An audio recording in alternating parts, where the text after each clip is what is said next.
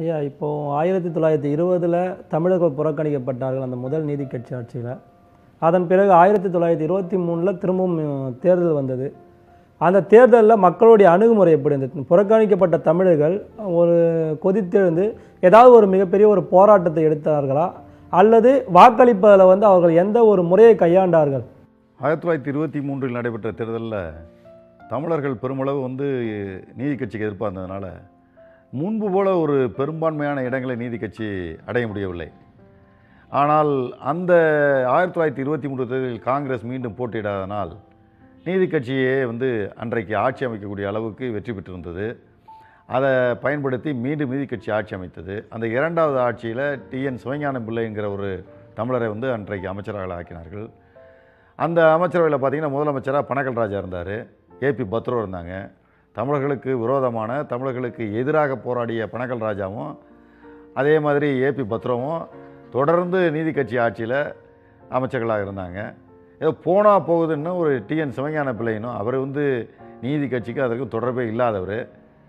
ஏன்னா நீதி கட்சியில் தொடர்பு இருந்து நீதி கட்சியிலேயே வந்து உழைத்த யாராவது தமிழர்களை போட்டால் எங்கே அவர்களுக்கு மரியாதை கூடிவிடப் போகிறதோ என்று கருதிய நீதி கட்சி அந்த நீதி கட்சி செயல்பாடே இல்லாத டிஎன் சிவஞானம் பிள்ளைங்கிற ஒரு தமிழரை தேர்ந்தெடுத்து ஒரு பொத்தாம் ஒரு அமைச்சராக்கி அவங்க தமிழர்களுக்கு ஏதோ நாங்களும் உங்களை ஆள ஒருத்தர் வந்து அமைச்சராக்கிட்டோம்னு சொல்லுவது போல சொல்லி அன்றைக்கு தமிழர்களுடைய அந்த கதையை முடித்து வைத்து அதிகாரத்தை பறித்து கொண்ட நிகழ்வை தொடர்ந்து செய்தார்கள். ஆயிரத்தி தொள்ளாயிரத்தி இருபத்தி மூணில் நீதி கட்சி ஆட்சியை அமைச்சிருந்தா தமிழர்கள் வந்து அங்கேயும் புறக்கணிக்கப்பட்டிருப்பார்கள். இருபதுலேயும் புறக்கணிக்கப்பட்ட தமிழர்கள் இருபத்தி மூணில் புறக்கணிக்கப்பட்டிருப்பார்கள்.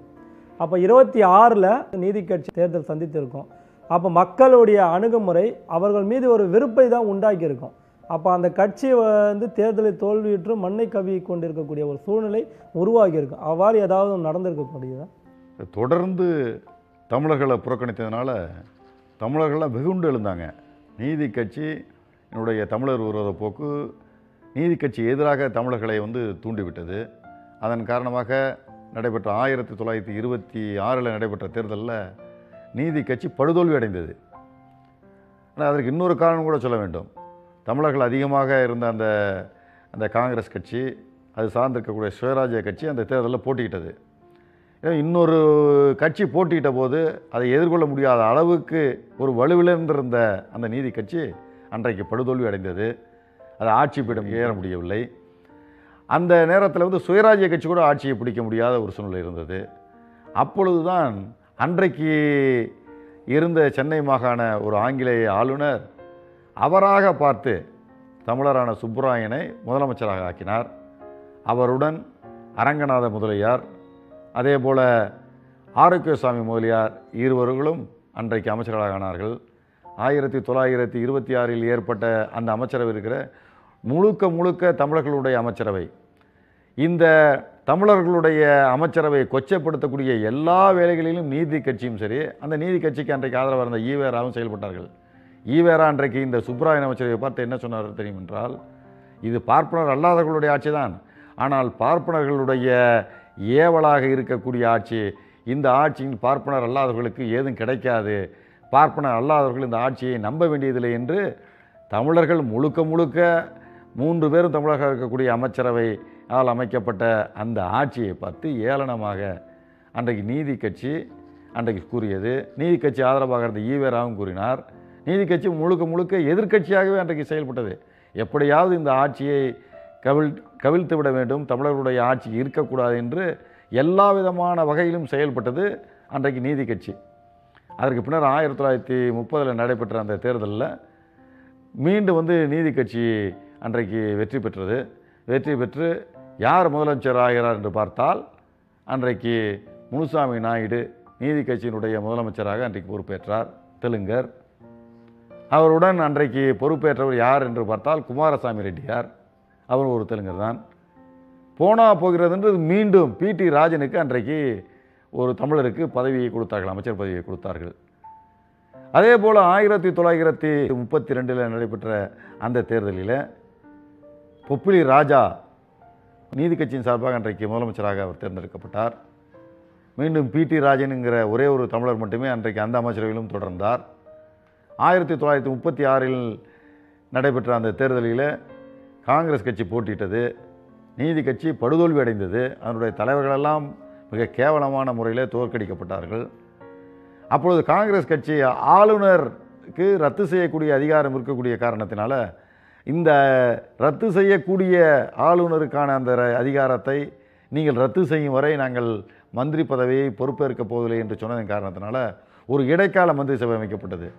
அந்த இடைக்கால மந்திரி சபையில் யாரா முதலமைச்சர்னு பார்த்தா கூர்ம வெங்கட்ராம ரெட்டி நாயுடு தான் முதலமைச்சராக தேர்ந்தெடுக்கப்பட்டார். நீங்கள் பார்த்தீங்கன்னா ஆயிரத்தி தொள்ளாயிரத்தி இருபது துவங்கி ஆயிரத்தி தொள்ளாயிரத்தி முப்பத்தி ஏழு வரை நடைபெற்ற தேர்தலில் சுப்ராயன் சென்னை மாகாண அன்றைக்கு ஆங்கிலேய ஆளுநரால் நியமிக்கப்பட்ட அந்த தமிழரான சுப்ராயன் ஆட்சியை தவிர அது நீதி கட்சி ஆட்சி அல்ல. நீதி கட்சி ஆட்சி ஏற்பட்ட போதெல்லாம் இருந்தவர்கள் எல்லோரும் முதலமைச்சராக இருந்தவர்கள் தெலுங்கர்கள். அந்த மூன்று பேரில் அமைச்சர்களில் பெரும்பான்மையாக இரண்டு பேர் யார் என்று பார்த்தால் தெலுங்கர்கள். இன்னும் சொல்ல போனால் தமிழர்களுக்கு எதிராக போராடிய தமிழர்களுடைய அதிகாரத்தை நீக்க வேண்டும் என்று சொல்வதற்காக வலியுறுத்திய அதற்காக கூட்டங்கள் கூட்டிய அந்த தெலுங்கர்கள் தான் அன்றைக்கு அமைச்சர்களாக ஆக்கப்பட்டார்கள். ஒரு தமிழின விரோத போக்கினை இன்றைக்கி நீதி கட்சி ஆட்சியில் தொடர்ந்து பார்க்கலாம். இந்த அமைச்சர்களுடைய நியமனத்திலே அது வந்து வெளிப்படுத்தப்படுகிறது. நீதி கட்சி ஆட்சி வந்து யாருடைய ஆட்சி என்பது பற்றி மாப்போசி அவர்கள் வந்து தமிழகத்தில் பிறமொழியினருங்கிற நூலில் வந்து ரொம்ப குறிப்பிட்டு எழுதியிருக்காரு. அதை நான் படித்து காட்ட விரும்புகிறேன். நான் அதில் வந்து அவர் தெளிவாக வந்து அந்த நீதி கட்சி ஆட்சி வந்து யாருடைய ஆட்சி என்பது மட்டும் இல்லை எப்படி வந்து தமிழர்கள் அந்த ஆட்சியிலிருந்து நீக்கப்பட்டார்கள் தமிழர்களுக்கு மிகப்பெரிய துரோகம் விளைவிக்கப்பட்டது என்பதெல்லாம் வந்து ரொம்ப தெளிவாக சொல்லியிருக்காரு. அந்த நூல்லேருந்து ஒரு பகுதியை என்னுடைய நூலில் எடுத்து எழுதியிருக்கேன் அதை படிக்கிறேன் இப்போ. ஆயிரத்தி தொள்ளாயிரத்தி முப்பதில் தமிழரான டாக்டர் சுப்புராயன் அமைச்சரவை கவிழ்ந்தது. ஆந்திரரான சித்தூர் திரு V. Munusamy Naidu முதலமைச்சரானார். Thiru P. T. Rajan Thiru S. Kumaraswamy Reddiar ஆகிய இருவரும் அமைச்சர்களாயினர். இது அப்பட்டமான ஜஸ்டிஸ் கட்சி ஆட்சி. ஆயிரத்தி தொள்ளாயிரத்தி முப்பத்தி ரெண்டில் திரும்பவும் அமைச்சரவை மாறியது. சுத்த ஆந்திரரான புப்புலி அரசர் முதலமைச்சரானார். Sir P T Rajan sir S Kumaraswamy Reddy ஆகியோர் அமைச்சர் பதவியில் நீடித்தனர். புப்புலி அரசரின் ஆட்சி ஆயிரத்தி தொள்ளாயிரத்தி முப்பத்தி ஆறு வரை நீடித்தது. ஆயிரத்தி தொள்ளாயிரத்தி முப்பத்தி ஏழில் நடந்த பொது தேர்தலில் காங்கிரஸ் கட்சி அதிகாரப்பூர்வமாக கலந்து கொண்டு மகத்தான வெற்றியை கண்டது. ஜஸ்டிஸ் கட்சி படுதோல்வி அடைந்தது.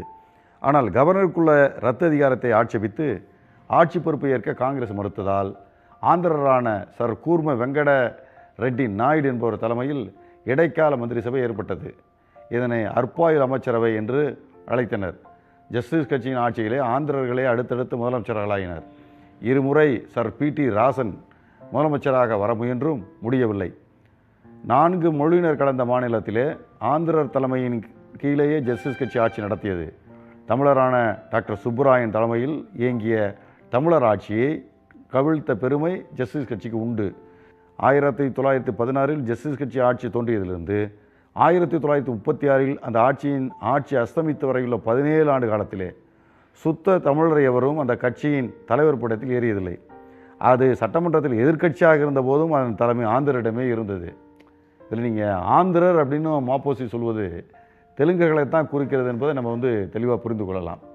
இது நீங்கள் நல்லா பார்த்தீங்கன்னா இந்த பனகல் ராஜா ஏபி பாத்ரோ கூர்ம வெங்கடரமன் ரெட்டி நாயுடு இவங்க எல்லாருமே பார்த்தீங்கன்னா தமிழர்களுக்கு எதிராக அவர்களுக்கு அதிகாரம் கிடைக்கக்கூடாது என்பதற்காக போராட்டம் நடத்தியவர்கள். அதே மாதிரி இந்த புப்புளி ராஜா இருக்கார் பாருங்கள் அவரை வந்து நீதி கட்சியினுடைய தலைவராகவும் அதே போல் நீதி கட்சியினுடைய முதலமைச்சராகவும் இருந்தவர்.